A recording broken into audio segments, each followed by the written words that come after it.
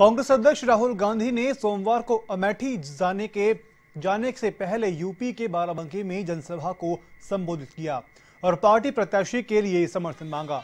उन्होंने पीएम मोदी को निशाने पर लेते हुए कहा कि आज देश का चौकीदार ही चोर है और देश की जनता ही उसे हटाएगी।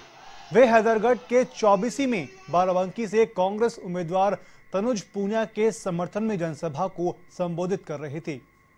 उन्होंने कहा कि गरीबों को लाखों रुपए कैश देने का झूठा वादा करके पीएम मोदी ने अंबानी और अडानी जैसे अमीरों को फ़ायदा पहुँचाया है। लेकिन इस बार जनता सच जान चुकी है और भाजपा को सबक सिखाएगी। उन्होंने केंद्र में कांग्रेस सरकार बनने पर एक साल में 22 लाख सरकारी नौकरी देने का वायदा किया है। उन्होंने कहा कि इनमें से 10 लाख नौकरियाँ पंचायतों में सृजित की जाएँगी।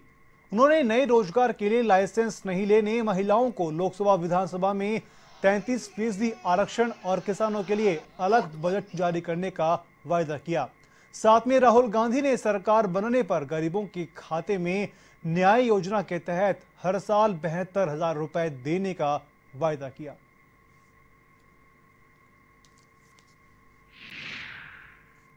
करोड़ रुपए कर्जा लिया, वापस नहीं दिया, जेल से बाहर है। देखा आपने? नीरव मोदी पैंतीस हज़ार करोड़ रुपए ले गया, जेल से बाहर है। मगर अगर आप हिंदुस्तान के किसी भी जेल में जाओगे, आपको दिखेगा कि वहाँ पे किसी किसान ने बीस हज़ार रुपए का कर्जा लिया, वापस नहीं दिया, उसको जेल में डाल दिया। किसान को बीस हज़ार रुपए कर्जा ना लौटाने पे जेल में डाल देते हैं और अनिल अंबानी को पैंतालीस हज़ार करोड़ ना लौटाने पे और पैसा देते हैं। वो जेल के बाहर बैठता है, हमारे किसान जेल के अंदर।